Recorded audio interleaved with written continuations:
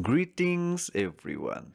In today's video, we will quickly learn how you can open HEIC file on Windows 10 for free. So basically, we will open this image.heic file on our PC and for absolutely free. Let's get started. For more contents like this, please subscribe to our channel and press the bell icon. Now I copied some photos from my iPhone and these photos are in .heic format. As you can see it here. And when I try to open it, this does not work. And it asks me to install a video extension.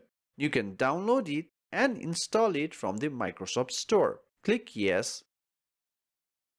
But this will cost you about $1. Alternatively, simply open the browser and search for HEVC video extensions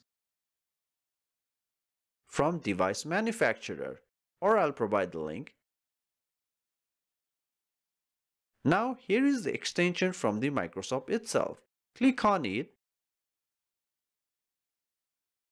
As you can see, this is from the Microsoft Corporation itself. Now click on Get in Store app. Open Microsoft Store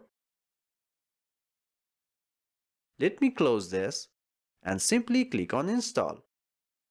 It's a small file size so should not take much time.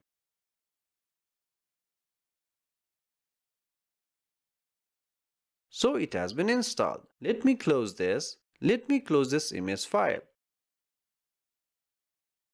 And close this as well. Now let's try to open the photos.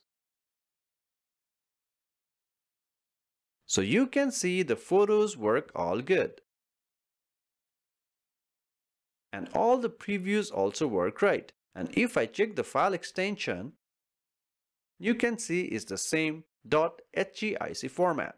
We really hope this video was useful. Thank you very much.